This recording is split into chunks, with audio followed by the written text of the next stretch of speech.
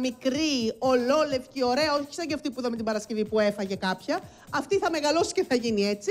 Είναι η μικρή Ράσελ.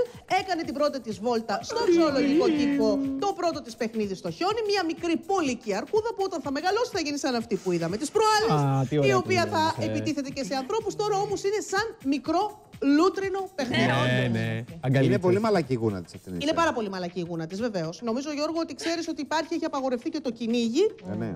ε, στο Βόρειο Πόλο γιατί τη σκοτώνουν για τη γούνα τους, γιατί Αλήθεια. είναι πολύ Ε, μαλακή. βέβαια, Βεβαίως. πολύ. Φοβερή η γούνα της, ε, πολικής αρκούδας είναι. Βεβαίως. Και έχει Τη απαγορευτεί. βλέπεις. Ανώτερης, ανώτερη από τις γκρίζλι.